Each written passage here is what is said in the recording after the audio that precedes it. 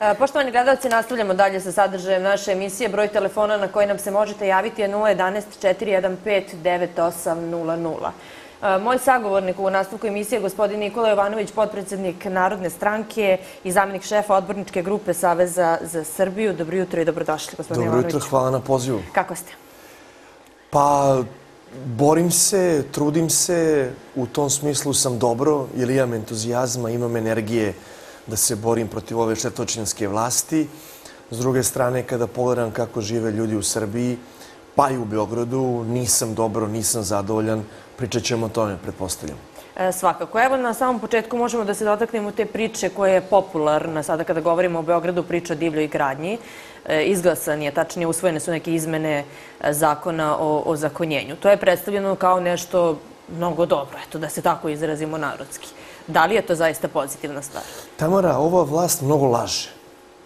I kada oni jednu temu podižu u javnosti i kada se mnogo bave sa njom, odmah znate da je u pitanju neki lopovluk ili maskiranje nekih važnih ključnih činjenica. A činjenice su sledeće. 2015. godine u Srbiji je donešen zakon o, o ozakonjenju koji govori da bukvalno svaki objekat koji se nakon stupanja na snagu tog zakona podigne, a nema sve dozvole, mora biti srušen.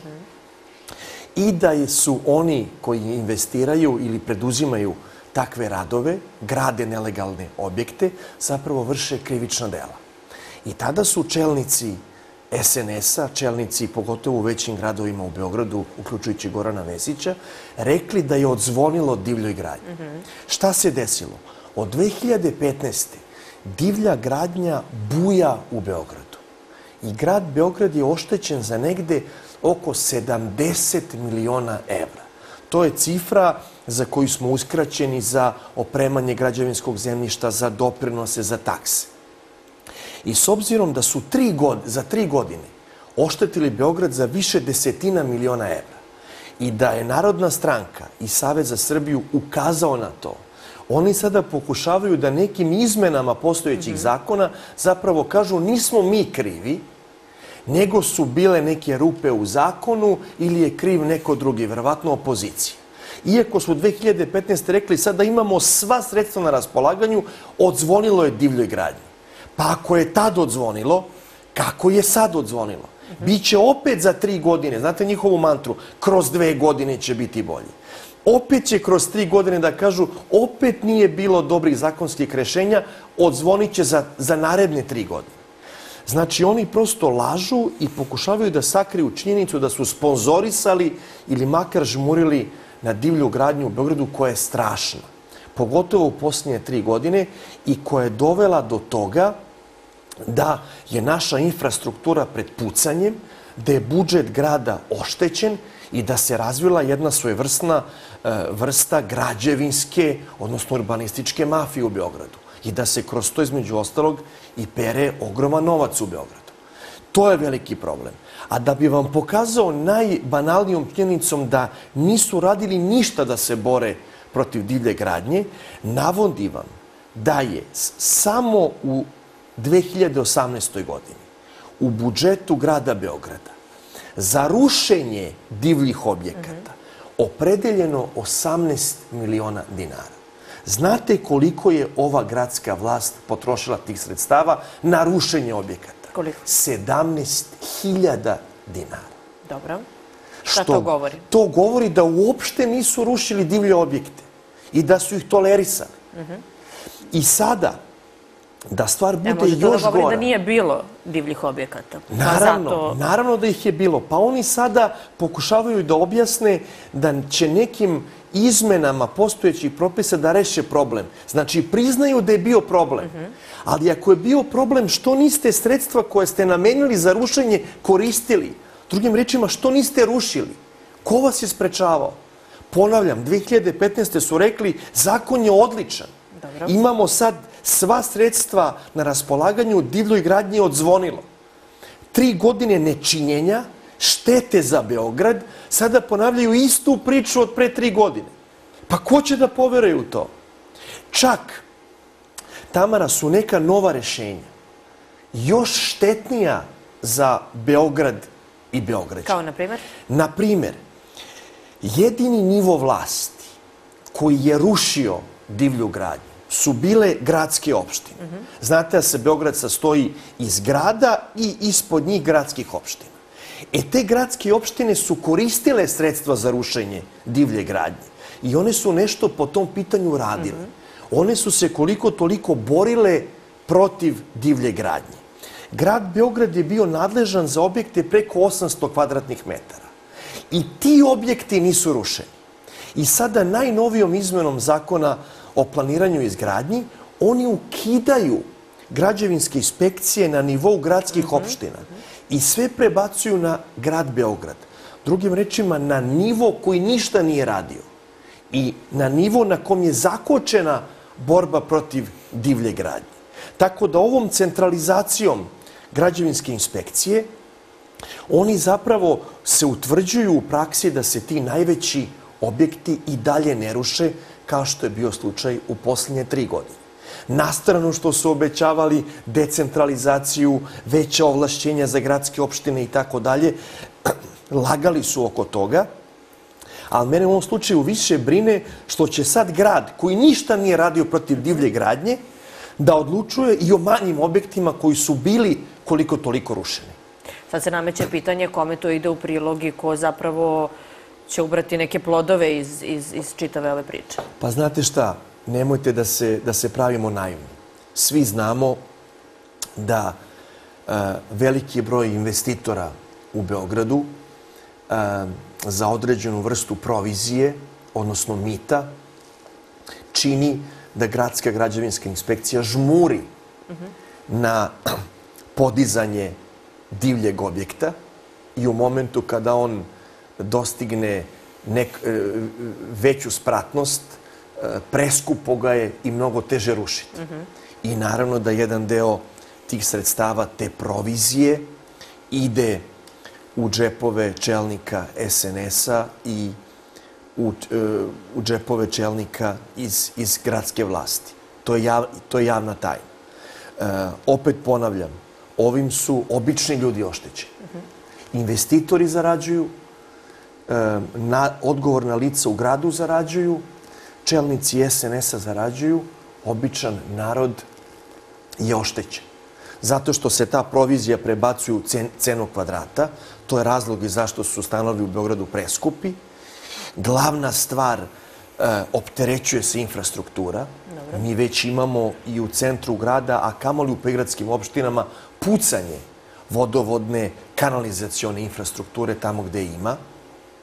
I naj, e, isto važna činjenica, umesto zelenih površina, parkova, igrališta za decu, niču neke monstrum zgrade.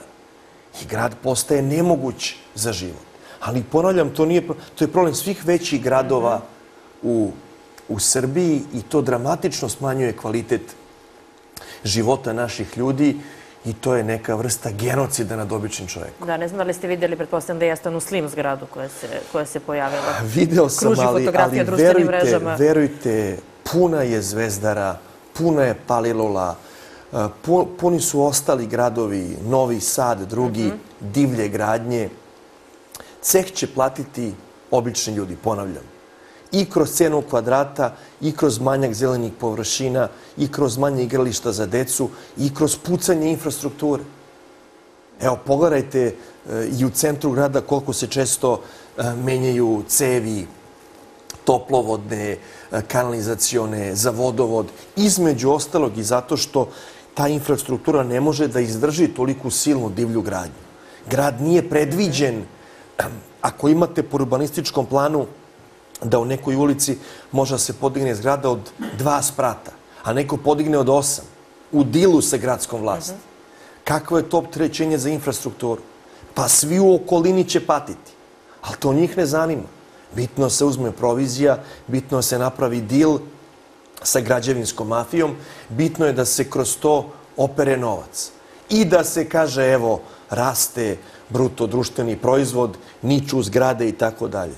Ne. Gospodine Ivanović, imamo nekoga na telefonskoj vezi. Dobro jutro, poštovanje. Dobro jutro. Dobro jutro Poštovanje, izvolite. i vi dobar dan. E, Zovem iz Novog Sada, Dobro. pošto je reč o gradnji, a, u Novom Sadu isto se tako gradi, na divlje, to svi znamo. Znate šta me interesuje? Interesuje me u centru Novog Sada, kod pošte, se zida tako jedno zdanje da je to, da je to strašno nagrdilo Novi Sad. Rečeno je da Dragiša Brašovan ustane i prošeta, to je Banovinu pravio, da bi odmah pao nazad. I ovako, to zida Galens,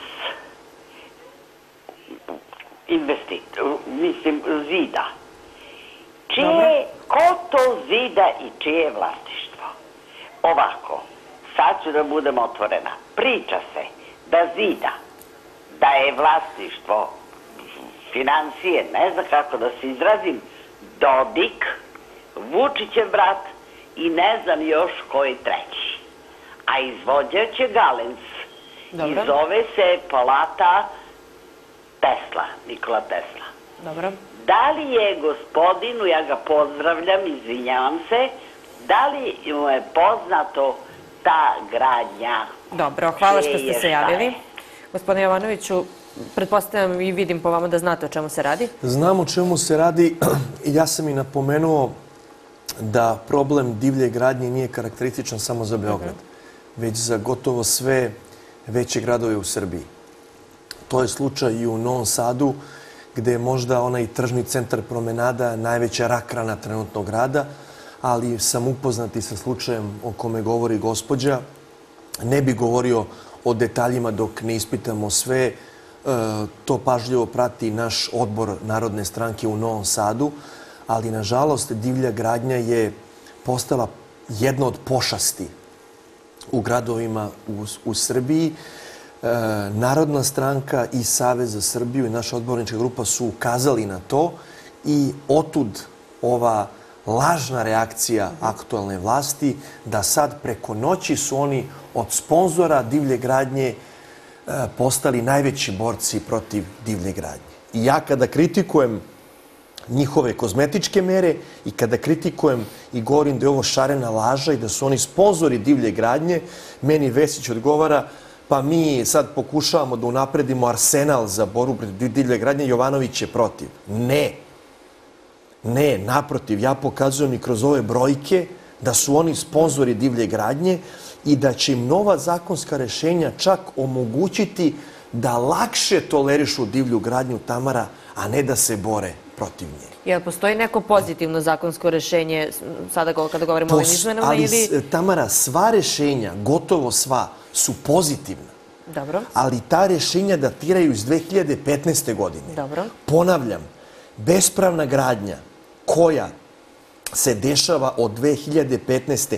mora da se ruši. Ne može da se legalizuje. Onaj ko, ko preduzima takvu vrstu radova je u krivičnom delu. Znači, zakon iz 2015. je bio dobar. Ovo su sad samo neke sitnije izmene i dopune. Ali moje pitanje je zašto se od 2015. nije ništa na tome radilo? Naprotiv, buja divlja gradnja. I oni sad ovim izmenama, ponavljam, žele da kažu nije problem u nama, problem je u nekom drugom. Ljudi, u vama je problem. Vama niču zgrade od 2015. sa 4, 6, 8 spratova. Spomenuli ste onu tanku, tanku zgradu koja je vrhunac besmisla. A ima takvih zgrada i dalje. Da imamo nekog na vezi, gospodine Jovanoviću. Dobro jutro, poštovanje. E, Dobar dan. Dobar dan, izvolite. Ja bih imala jedno pitanje za gospodina Jovanovića. Izvolite. On kaže da je veoma problematična divlja gradnja, recimo u celoj Srbiji, pa pogotovo i u Novom Sadu, Beogradu i ne znam gde. Dobro. Da li bi meni gospodin Jovanović ili nama građanima objasnio, ako bi oni došli na, na ako bi on bio na vlasti, Dobro. šta bi on uradio, kako bi to on rešio? Dobro. Kako bi, kako bi to on srušio? Kako bi, šta bi uradio s tim? Mene to tako interesira, pošto svi govore protiv te divlje gradnje. Gradnja se izgradila, ali kako ćemo je srušiti? Dobro. Da mi to objasni, ja zaista više ništa ne razumem o, u ovom, ja se izvinjavam možda, ali ja zaista ništa ne razumem. Dobro. Oni stalno pričaju divlja gradnja, e, loši autoputovi, pa kako ćemo da rušimo? Onda ćemo sad znati dosta smo gradili, sad ćemo rušiti. Šta, ka- kakav je... e, mislim, Gospođo, razumem, razumem. Jer, izvinite. hvala. Razumem pitanje, razumem pitanje, Mhm, možete. razumem pitanje, pazite, tamo gde se objekti podižu nelegalno, gradu Beogradu se ne plaćaju doprinosi, takse, budžet grada je oštećen. To je između ostalog razlog zašto, zašto je penzionerima ukinuta 13. penzija, zašto su ukinuti besplatni udžbenici u Beogradu i mnoge druge stvari. Zato što se radi loše. U Beogradu, kada Narodna stranka i Savez za Srbiju dođu u priliku da vrše vlast, sprovodit ćemo zakon. Ako smo u zakonu rekli da se objekti koji nisu legalizovani do određenog roka moraju srušiti, mi ćemo ih srušiti. Ali prostor koji se oslobodi rušenjem ćemo iskoristiti za neke legalne investicije i za investicije koje neće služiti za pranje novca, već koje će biti u skladu sa razvojem grada i koje će podizati kvalitet života u gradu. To je problem. Sad gospođa ima donekle razumljiv strah, nešto je podignuto pa mi ćemo da rušimo. Pa mi ćemo rušiti ono što šteti kvalitetu života u gradu. Dakle, odgovor je jednostavan, primjena zakona rešava sve. jel tako, Naravno, na jer gospođo, ako imate zgradu od osam spratova koja, kojoj tu nije mesto, zbog koje puca infrastruktura u čitavoj ulici, zbog koje ne možete da se parkirate, zbog koje nastaju čepovi, zbog koje nekada e, e, nema grejanja po nekoliko dana ili vode, i to samo da bi neki kriminalac oprao pare. Pa naravno da to nije način da se razvija grad. Bolje da se tu napravi škola. Bolje da se napravi obdanište. Bolje da postoji dečje igralište. Koliko ima dečjih igrališta u centru grada, Tamara? Pa vi kad imate porodicu, šta u centru grada vi radite? Vi pola sata, sat vremena jurite parking mesto. I onda morate da odete u tržni centar. Idete u tržni centar da vam, da vam, da vam se dete zabavlja u tržnom centru. A gde su igrališta? Ja sam još odrastao u neko vreme kada je svaki blok na Novom Beogradu imao svoje košarkačko igralište. Neki blokovi i po dva. Što to ne može da se uradi opet? Pa taj Novi Beograd koji je bio ozloglašen je imao više zelenila od velike, velikog broja gradova u Evropi. Pogledajte danas Beograd. Divlji zapad, carstvo betona, kvalitet života opada. I samo najbogatiji imaju mogućnost da imaju jednu, dve svoje garaže, da imaju, da imaju sve što im, što, im, što, što im pripada. Samo najbogatiji. Ova vlast u Beogradu, ali u čitavoj Srbiji, Tamara, radi za najbogatije. Oni su došli sa obećanjem radit će za narod. Vraga. Oni danas čitav Beograd, ali to važi i za čitavu našu lepu Srbiju, bukvalno e, prenamenjuju da služi ljudima koji mogu da plate kvadrat 3000 evra i naviše. Pa pogledajte, čitav Beograd se vrti oko Beograda na vodi. 50% dokumentacije koju dobijemo u gradskoj skupštini je vezano za taj nakazni projekat Beograd na vodi. Evo, videli smo za vikend, pazite, za u nedelju, ako se ne varam, ili u subotu, je počelo rušenje zgrade Simpa. Da bi se taj prostor oslobodio za privatnog investitora Beograd na vodi. A pazite, da bi grad mogao da sruši zgradu Simpa i zgradu Iskre, koja je odmah pored. To je, za one koje ne znaju, preko puta dolaznih perona na autobuskoj stanici u centru grada. Pošto su te zgrade bile u privatnom vlasništvu, grad Beograd, odnosno u ovom slučaju Republika Srbija, je morala da otkupi prvo zgradu Simpa za 12 miliona evra, a onda zgradu Iskre od 7 miliona evra. Dobro. Znači, da bi mogli da je, da je sruše, platili smo 19 miliona evra. Onda troškovi rušenja. I šta se dešava?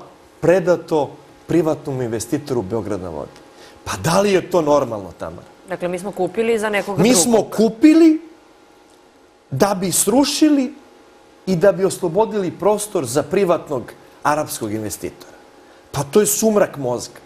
Samo te dve zgrade, da bi mogli da ih srušimo, smo platili iz džepa poreskih obveznika 19 miliona evra. To mi smo onda Pa domaćini to za je, poželeti, to je genocid, verujte, to je genocid nad sobstvenim narodom.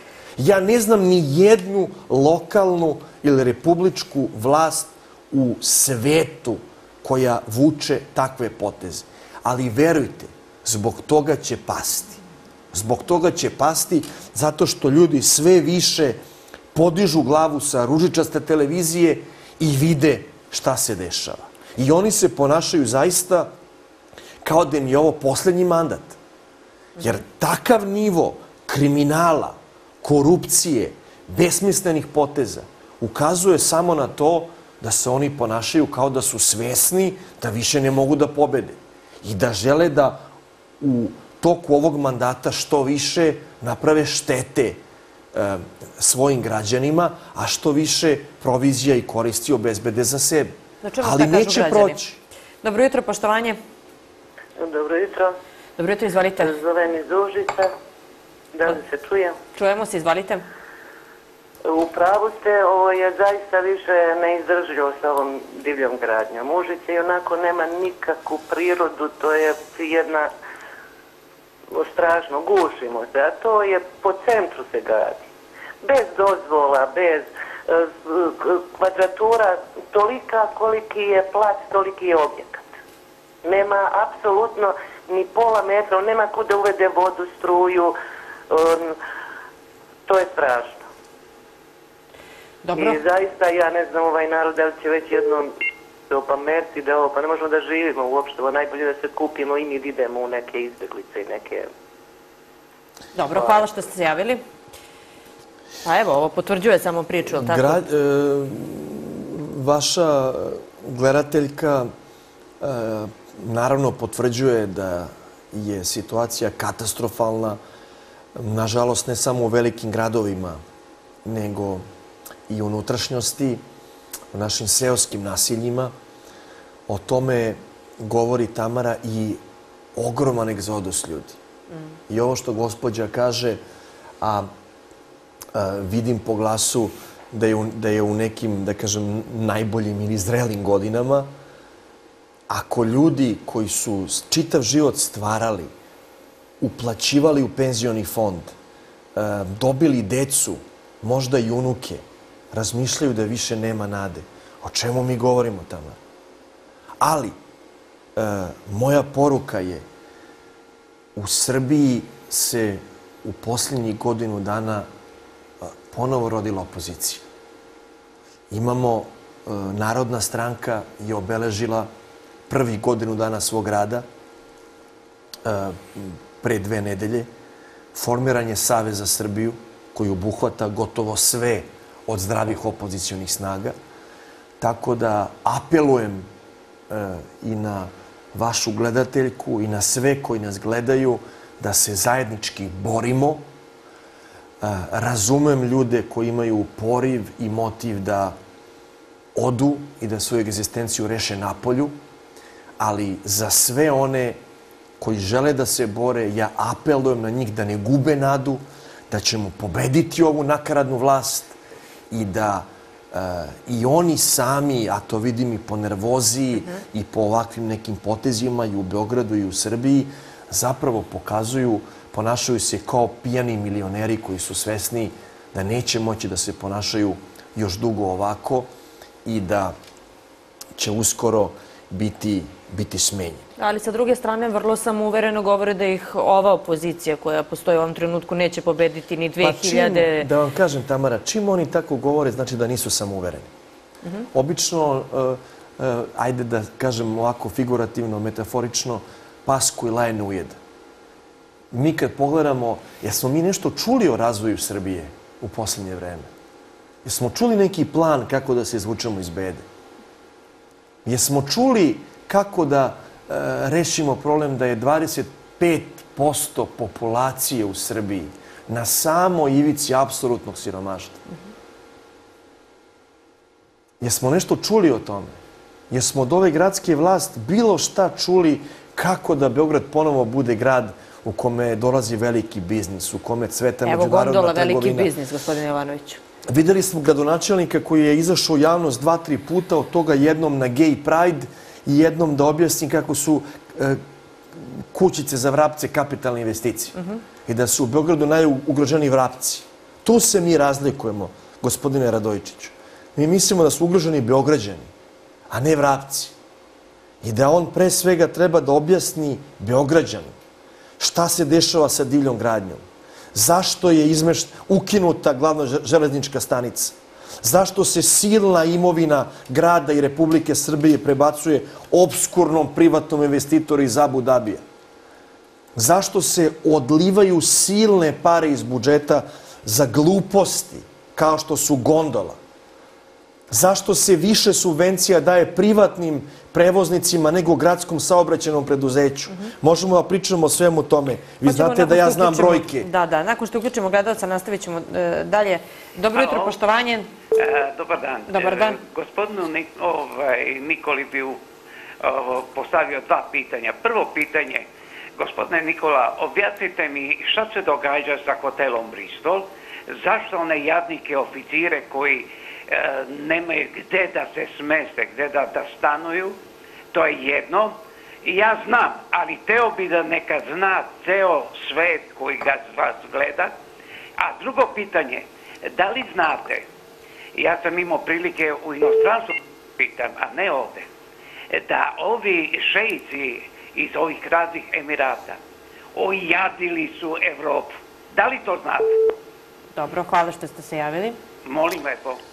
E, uvažena gospođo, vidim da ste u potpunosti u toku, ali zbog ostalih gled- gled- gledalaca ponavljam, hotel Bristol je velika sramota.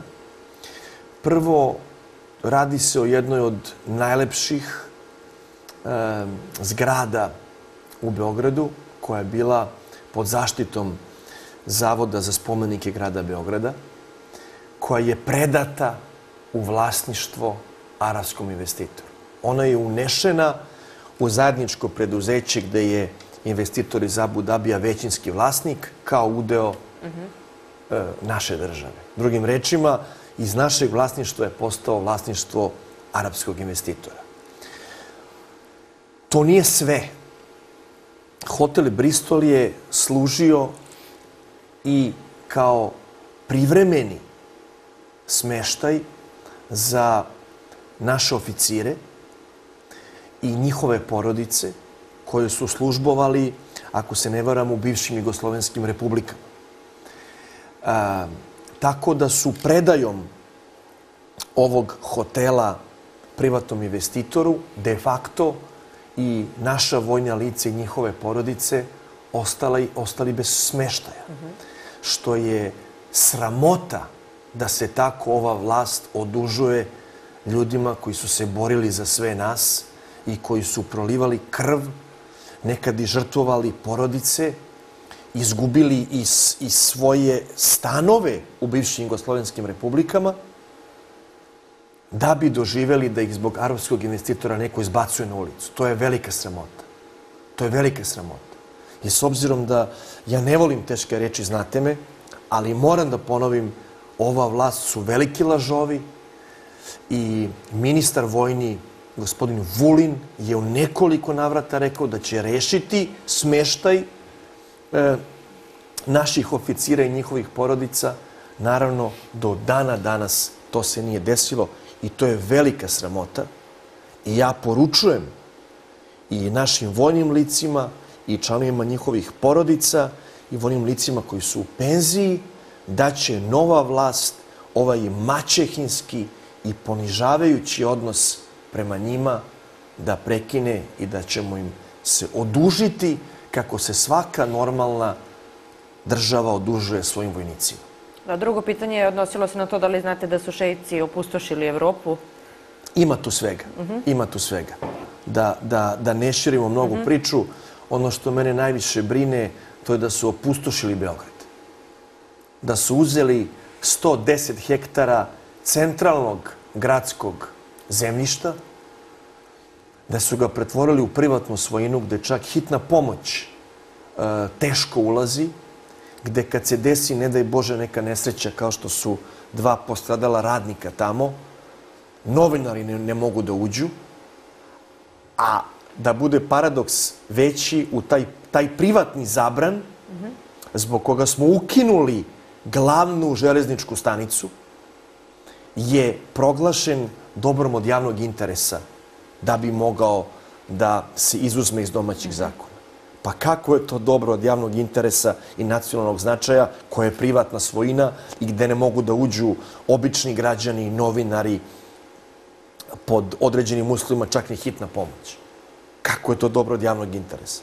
Pa valjda je dobro od javnog interesa da vi i ja, ostali građani, možemo tamo se prošetamo, da imamo neke sadržaje, da imamo neke galerije, da se slobodno pristaje, mi, turisti, da grad zarađuje i da ta zarada ide u budžet. I da iz tog budžeta finansiramo obdaništa, škole, renoviranje domova zdravlja. To je javni interes. A nije javni interes da neki šejk tamo pravi, da ne kažem šta. Kada ste pomenuli domove zdravlja, evo najavljuje se u nekom narednom periodu, periodu ulaganje u zdravstvo. E, Vi kao narodna stranka mnogo ste o tome pričali pre, pre beogradskih izbora i sada u- koliko je to zapravo važno Jesmo. ulaganje u zdravstvo. Da li očekujete da će se to zaista dogoditi, neki pomak po tom pitanju? Ne, ne. Ne očekujem. E, Predsjednik je najavio da će u narednih nekoliko godina biti uloženo stotine miliona evra u zdravstvo. Šta je zaboravio da kaže Tamara? Zaboravio je da kaže da su ta sredstva već godinama na raspolaganju republičkoj vlasti. To su sredstva koja su dobijena od evropskih investicionih banaka još od 2008. godine. Ova vlast je, e, ima apsolutnu kontrolu i monopol upravljanju Srbijom od 2012. godine. Što nisu nešto uradili? Oni su pred predsjedničke izbore na brzinu otvorili renovirani klinički centar u Nišu. Zaboravili su da kažu da nije bila građevinska dozvola, da su neki radovi loše napravljeni, da je veliki broj lekara iz Niša kao iz Beograda otišao u inostranstvo. Ali oni se sete da nešto otvore samo kad su izbori. Što nisu teh, tih stotine miliona evra za zdravstvo već dobijenih kredita koristili? Što se domovi zdravlja raspadaju, Tamara? Što roditelji moraju da čekaju satima da ih primi lekar opšte prakse, a onda se specijalista čeka danima, da ne kažem nedeljama, za najosnovnije stvari.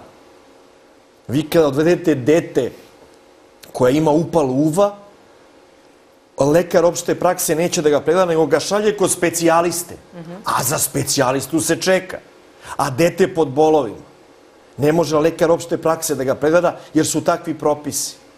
Najmanje su krivi naši zdravstveni radnici. Naprotiv, oni su žrtve ovoga režima. I da pogledajte ovo, u Rumuniji iskusni lekari, hirurzi, na primjer, imaju platu 2700 evra. Kod nas, ako lekar e, ne e, predaje na fakultetu, ima ispod 100.000 dinara. To je koliko? 900 evra. A u jednoj susednoj Rumuniji, koja je zaostajala u razvoju za nama, 2700 evra. U Rumuniji medicinske sestre imaju 900 evra. Kod nas 300 evra. O čemu se to radi? Mi imamo egzodus bukvalno svakog dana neki lekar ode iz Srbije. Našu decu, naše penzionere, uskoro neće imati ko da leči. A gospodin Vučić posle u sedmoj godini vlasti najavljuje investicije u zdravstvo. Pa gospodine predsjedniče, ako želite da uradite nešto, povećajte platu i to u nekom iznosu koji je dovoljan. Momentalno medicinskim sestrama, tehničarima i lekarima. Momentalno učinite to. Nemojte obećavati neke kule i gradove. Evo odmah samo iskopirajte primjer Rumunije. U Rumuniji više lekari ne napuštaju zemlju, ni medicinski radnici. Eto, samo iskopirajte, pa nisu Rumuni nešto posebno e, genijalni u odnosu na nas. Dobro, ali Nego su malo... shvatili da ne, da, da ne može da se zadrži dobar lekar u Srbiji sa platom 700-800 evra. Niti medicinska sestra i tehničar sa platom 300 ili 400. Ne može. Ne može. I lekari su očajni. Ja kad odem u dom zdravlja i vidim da lekari ne mogu da, nas, da, da, da, da me prime sa detetom 2-3 sata, ja ne krivim lekare, jer njih je malo. Plus zabrana zapošljavanja u, u javnom sektoru lekara. Pa to je recept za katastrofu. To je koktel mera za katastrofu. I nekad se pitam, da li ova vlast uopšte radi u interesu našeg naroda? Zaista se iskreno to pitam kada neke stvari zbrojim. Da. Ima neko na telefonskoj vezi. Dobro jutro, poštovanje. Dobro jutro. Dobro jutro. Dobro Izvolite, jutro. izvolite, u programu ste. Kako vas nije sramota? I Slušamo vas. Ovog vašeg gospodina tu što priča laži. Halo? Slušamo vas, čujemo vas, samo nastavite. Kažem za ovog gospodina. Nije ga sramota da priča takve stvari i laži. Dobro, šta Koje laži? Koja laži? Da, Evo, kažite. Slušam. Zna on, ne treba, ne treba mi da pričamo. Pa da objasnite mi, gospođo, koje laži? Evo, Da. ja vas sa poštovanjem slušam. Sa Nemate slušam. poštovanja ni pred kim. Mi ljudi znamo ko je i šta je ovde u ovoj državi radio. Koliko je vi. plata lekara u Srbiji? Ja sam u penziji, ako ćete Koliko da se čeka specijalista, gospođo? Šta u Srbiji? a, a šta je u vaše vreme bilo? U moje vreme, Nemojte moja stranka je da stara godinu dana. Nemojte vi nama da pričate Moja vaše stranka je stara godinu dana. Prekinite više da vi kinjite ovu vlast danas što radi. Jer vidi narod ko radi u ovoj državi. Dobro, dovoljno ste rekli, hvala što ste se javili. E, Tamara, hajde ja da imam jedan predlog. Kažite, pa ćemo vidjeti da li će biti Pošto usvojen. je gospođa ubeđena da ova vlast dobro radi Dobro. i priznajem ima dosta ljudi koji misle da ova vlast dobro radi. Dobro. Ono što je problem, to je što ogroman broj ljudi se izveštava, samo informiše samo preko elektronskih medija koji su gotovo u apsolutnoj kontroli Aleksandra Vučića i vladajuće partije. Ako je gospođa ubeđena da ova vlast dobro radi, ona će sa pažnjom da odgleda moj duel sa bilo kojim predstavnikom SNS-a u beogradskoj vlasti ili nekog našeg e, funkcionera Narodne stranke ili lidera Saveza za Srbiju u duelu, na primjer, sa ministrom zdravlja. Da razgovaramo o stanju zdravstva u Srbiji. Koliko znam i vi pozivate stalno na Tako duel je. predstavnike. Ako su oni ubeđeni da dobro rade, što izbegavaju TV duele? Zašto ne otvore medije za opoziciju? Ja da sam ubeđen da dobro radim svoj posao, ja bih jedva čekao da ukrstim koplja sa nekim iz opozicije, da mu objasnim koliko je nesposoban, korumpiran, koliko sam ja dobar. Što izbegavaju to? Ne znam. Gospodine Jovanoviću, htjela bih samo da se dotaknemo još jedne priče, pošto kažu u vaše vreme, vi ste u politici, Ja sam u politici Tamara godinu dana. dobro, to treba naglasiti takođe, je li tako? Ja sam u politici godinu Niste dana. bili ni, ni u jednoj stranci angažovani pre Narodne Bio sam stranke. običan član Dobro. demokratske stranke, nisam bio nikakav funkcioner, Dobro. nisam nikada bio u izvršnoj vlasti, nisam nikada vršio vlast. Mhm. A, I ne mogu da kažem, ponosim se time, ali to je istina. Dobro. Jer ja sam bio kritičan i prema ranijim vlasti. Ja ne kažem da je sve bilo bajno i pod ranijim vlasti. Ja, iako član, sam bio analitičar, urednik naučnog časopisa. Ja sam kritikovao i prethodnu vlast. Ja sam kritikovao vlast demokrata. Kritikovao sam reformu pravosuđa. Kritikovao sam mnoge stvari.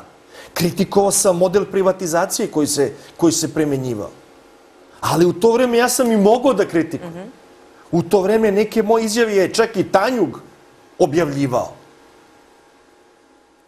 Danas toga to nije, više nema. danas toga više nema. Gospodine Varniću, nemamo još mnogo vremena, važnih tema je mnogo, pa s tim u vezi hoćemo li da se dotaknemo priče o gondoli, koja je takođe onako Pa možemo, možemo Ili ako, 80 ako, električnih autobusa. Možemo, možemo ako insistirate, svestan sam da da ljude koji nas gledaju zanima situacija u čitavoj Srbiji, Tako je. ali ja kada pričam o Beogradu želim samo da otkrijem pravu prirodu ove vlasti.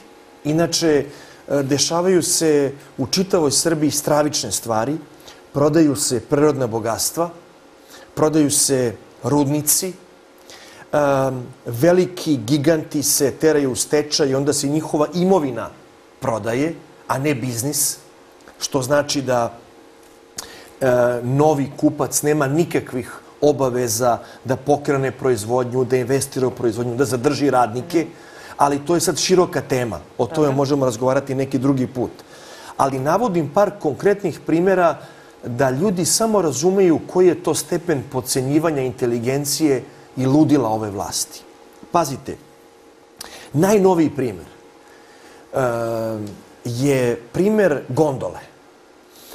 Gradska vlast je zajedno sa republičkom, znači zavlači se e, ruka u džep ne Beograđana, već svih građana Srbije. Oni su opredelili 15 miliona evra za neku gondolu koja će da ide od e, tržnog centra Ušće do Kalemegdana. Ajte da ostavimo po strani što je to besmisleno, što se time ruži silueta Kalemegdana, da ostavimo sve što na tom prostoru duva košava, pa je veliko pitanje bezbednosti ljudi koji se budu prevozili. Ajde da ostavimo to po strani. Ajde da vidimo samo šta su tu najluđe činjenice. Pazite, na Zlatiboru, gospodin Stamatović je našao finansijere ili se finansira iz budžeta opštine, više i ne znam, ali njegova investicija koja ima puno opravdanje jer je Zlatibor planinski kraj, turistički kraj, njegova gondola, ako se ne varam, je u dužini 9 km. Ta investicija je procenjena i on je obezbedio sredstva 13 miliona evra. Dobro. 9 km, 13 miliona evra. U Beogradu nepun kilometar gondole, koja pritom nema nikakvu svrhu, košta 15 miliona evra. Pa ko je ovde lud? Pritom, oni kažu možda, pazite, kažu možda, će gondola biti integrisana u javni prevoz. Pazite, ukidaju glavnu železničku stanicu. Uh, uskraćuju subvencije GSB, daju ih privatnicima. Nema nikakvog poboljšanja gradskog prevoza. Uh, hoće da ukinu i autobusku stanicu. Skratili su neke linije Beovoza, da ne širim priču. Sad to kompenzuju najavom, sećate se, nekih letećih automobila iz Kine i gondolom od 900 metara. Pa kako će gondola od 900 metara da reši problem zakrčenja saobraćaja u Beogradu? Pritom, karta košta skoro 500 dinara. To je, ako se ne varam, za odraslu osobu 3,6 evra. da se preveze tom gondolom. Dobro. A za decu 2,5 evra. Znači, za jednu četvoročlanu porodicu da se preveze od Ušće do Kalemegdana i nazad, treba 3000 dinara. Pa da li su oni normalni? Koja porodica u Srbiji može za jednu povratnu vožnju gondolom da odvoji 3000 dinara i da to smatra javnim prevozom? Pritom, oni kažu, a možda to ne bude deo javnog prevoza, to možda bude turistička atrakcija. I pritom govore da će ta turistička atrakcija da se isplati za šest godina. Dobro. S obzirom da je to tako genijalna investicija koja se isplaćuje Tamara za šest godina, kako nisu našli nekog privatnog investitora koji će da poveri u to bajku, koji će da finansira to i koji će da ima čist profit već nakon šest godina? Što zavlače ruku u džep Beograđana i građana Srbije ako su ubeđeni da je to dobra investicija? Što ne ubede nekog privatnog investitora da finansira to? Pritom, oni koriste neverovatne argumente. Oni kažu da će godišnje da ta gondola ima milion osamsto hiljada tura Dobro. odnosno e, toliko će karata se proda. A pritom gondola koja je atrakcija u Londonu i koji su finansirali privatnici, Dobro. ima godišnje, prodaje se 1,5 milion karata. Znači, Beogradska gondola će da ima viš, veći promet od Londona koji ima godišnje 19 miliona turista. Pa oni to kad bi rekli nekom privatnom investitoru, on bi se krstio levom i desnom. Jer rekao je, molim vas, više me už nikad u životu ne kontaktirajte. Nego gospodin Rasim Ljajić i naš gradonačelnik u Beogradu kažu, ne, ne, to je sigurna investicija. Pa što ne ubedite nekog? Ili što bi oni rekli, što vi ne, ne finansirate? Znate kako oni kažu? Uzmite vi kredit, pa finansirajte. To evo poručujem ministru Ljajiću. Ako je ubeđen da će gondola da se isplati posle šest godina, nek uzme kredit i nek od svog e, kredita i, i novca finansira tu investiciju. Ako je ubeđen da to, to donosi zaradu, već posle šest godina. A ne od nas da uzima.